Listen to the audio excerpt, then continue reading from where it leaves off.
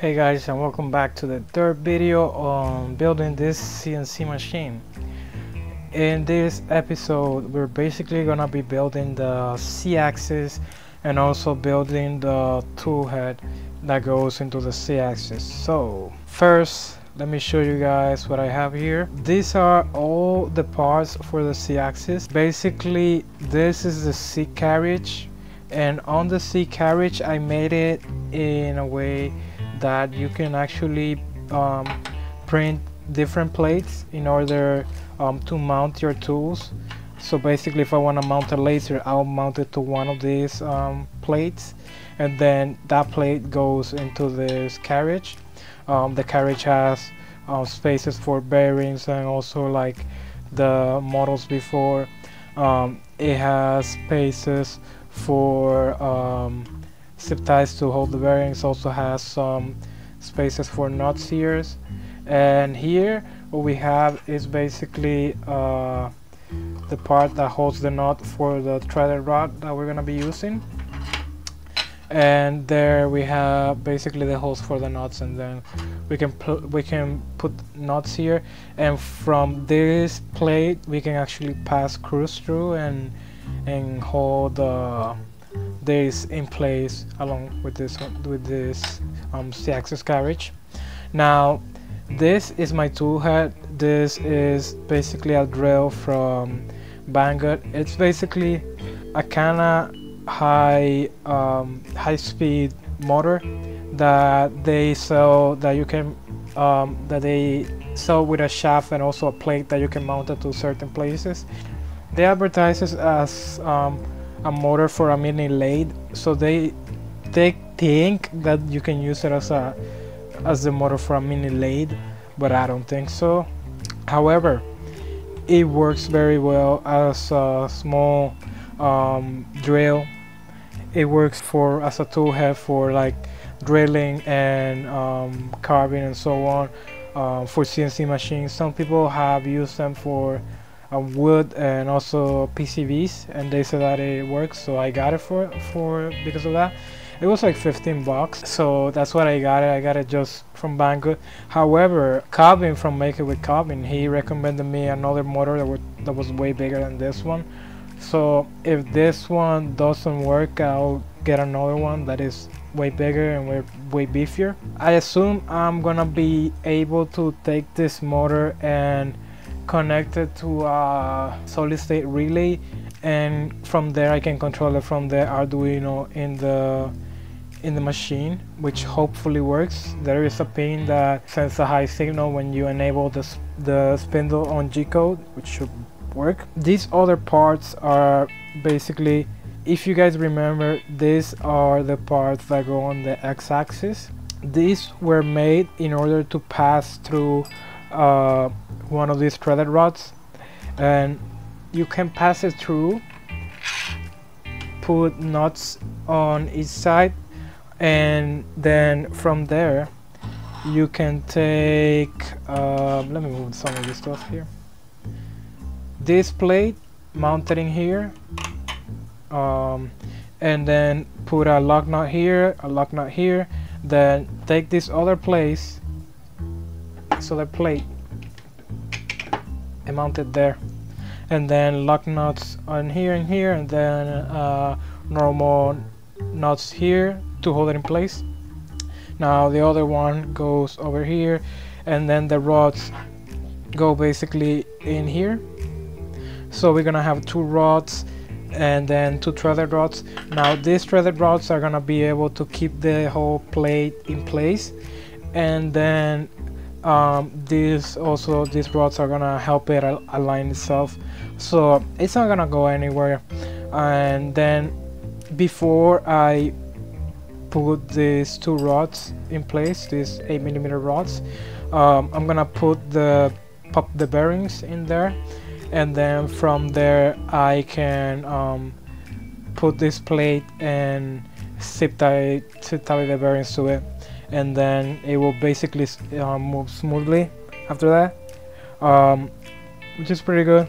Uh, this motor is also missing uh, a coupler that is gonna have the that is gonna hold the trailer rod in place which I think I have somewhere else I don't remember where or I might have to cut another one. And that is gonna help this Z carriage move up and down with this tool in place. Um, so that's basically the the idea. So let me go and put everything here together and from there we're gonna go and um, test it out and see if it works. I don't know if I'm gonna be able to wire this motor right now but I guess we can try. So I'll be right back.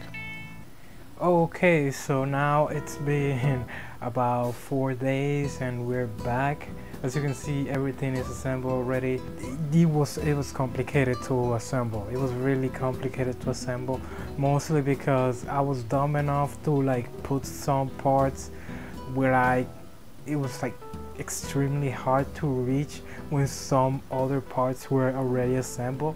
So for example you remember that there was a part back here that holds uh, a nut and that part um, if I removed it, assemble everything, and then try to put that one back, it, it was impossible. So I basically had to disassemble some parts and then put it in, and then it, it was a mess. It was really just a mess.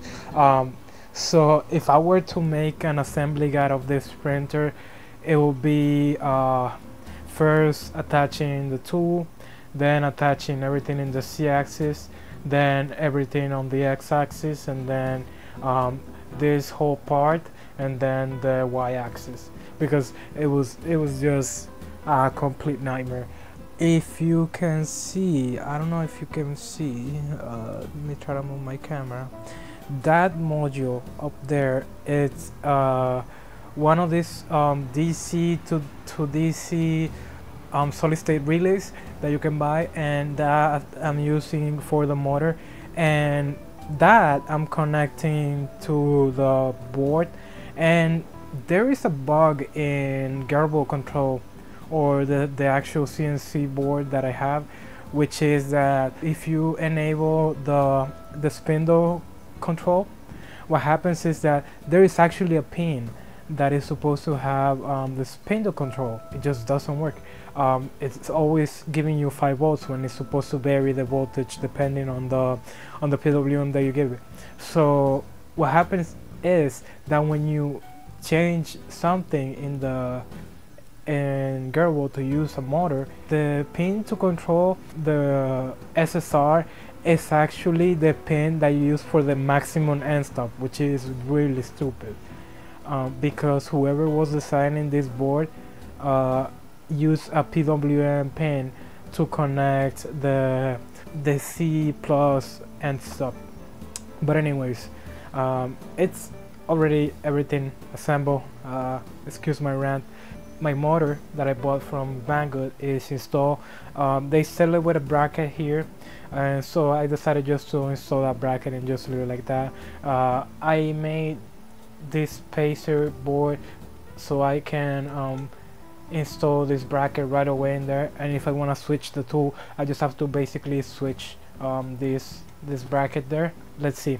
Uh, this parts uh, the trailer rod with the lock nuts were kind of annoying to put together but after you put it together and you make sure that, it, that everything is aligned it's actually pretty good. It's it's like rock solid there.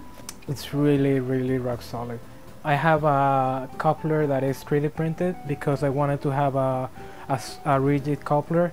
And the reason for that is because if you use a flexible coupler what's gonna happen is uh, first of all because my motor is on top and my uh, whatever I wanted to hold from there is on the bottom what's gonna happen is that um, it's gonna always be expanded. The spring is always gonna be expanded.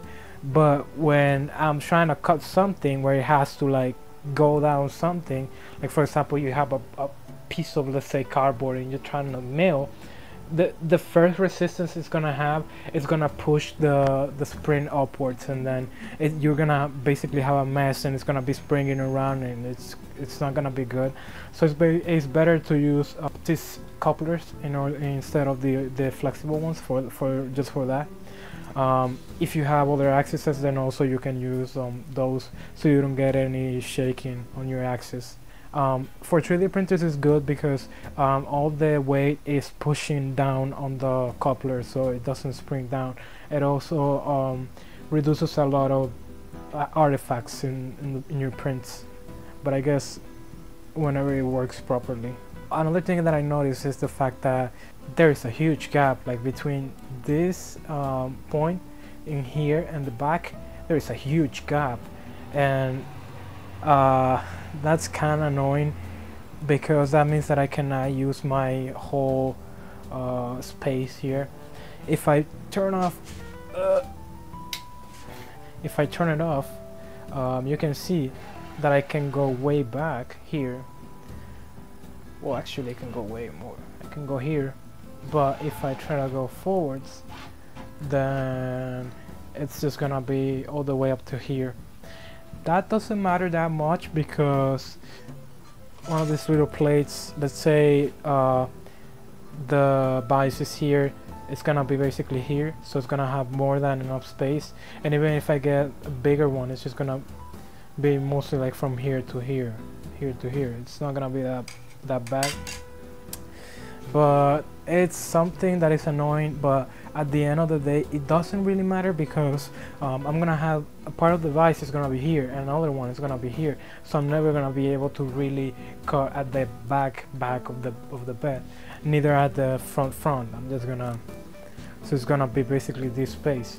It's kind of annoying but I mean it, it is what it is. Um, it's part of the design of this um, CNC for some reason. Didn't calculate that so guess that's what I get for that. What else? There is a problem with this power supply and it's the fact that it doesn't have a fan. So whenever I run the motor and it, the transistors get too hot and then they just um, shut off and for and then when they shut off basically this shut off. So what I did was basically to install um, a fan at the back so it can blow some air so it, they don't shut off I'm gonna be using a, a, separate power supply for this one and maybe for the for another thing that we have in the future that's gonna be attached to this. But uh, let's test it out and see what happens. Uh, I have some G-code that I already made so just want to show you guys what happens when I, I run it. So this is uh, the old G-code that we used in the other episodes uh, but it's tweaked so it can work with the with the motor and also with the z-axis so here we go. Let me turn the fan on at the back. Uh, where's, the, where's the switch?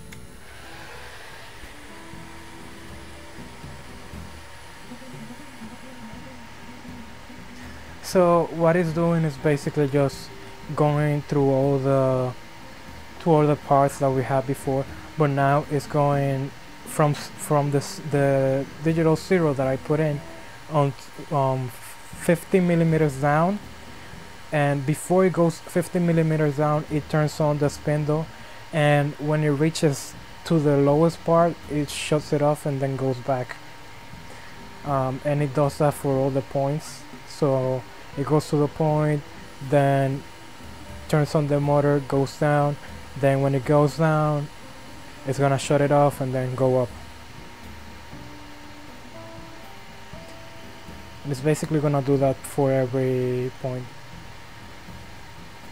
The Z-axis is not a, it's not that bad actually. It doesn't make any loud noises. It it moves smoothly. It's not twister um, what I was most concerned about was the threaded rod, if it was bent or, or anything.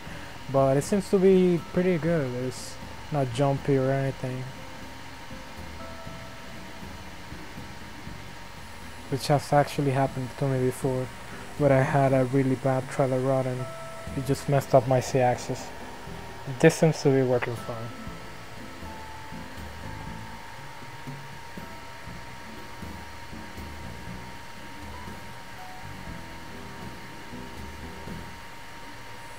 Should be almost done. Now it's at the back. So this is the maximum to the back that it's gonna be able to go. Which is the closest to the to the front basically. Well this is working. Um, let me just show you guys that the end stops have not arrived yet. It's been about 10 days since I ordered them and they have yet to arrive which is annoying as hell. Uh, I'm gonna put a bad review on that seller because the shipping is just terrible. It just it's just horrible. Uh, but that should allow me to basically have a um, the the machine basically know where it is in space at any point and so on. But anyways, that was about it. We're gonna be doing in next video is basically one um, setting up the device, two maybe set up another attachment that I have around and three um, try and see if I can get another power supply that can help this one as well. So I can have this one so only for the stepper motors and then for this one I can have another more powerful power supply. I'm thinking about uh, either just going with a ATX power supply that I have around that has a 12 volt 13 amp line or just going with buying uh, to uh, 24 volt 10 amp power supply. And from there um, it's just basically gonna it, it can't complain just can can't do anything. But yeah that's about it for this video. Thank you guys for watching and stay tuned because this is basically almost done. This is like 90% done already